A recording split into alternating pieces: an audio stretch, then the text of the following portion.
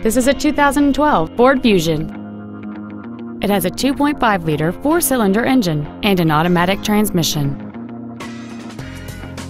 Its top features include a double wishbone independent front suspension, a low tire pressure indicator, traction control and stability control systems, aluminum wheels, and satellite radio.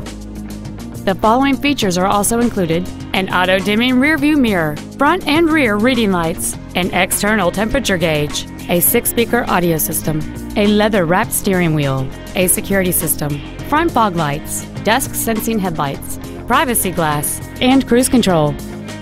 With an EPA estimated rating of 36 miles per gallon on the highway, this vehicle does not compromise its fuel efficiency for size, comfort, or fun.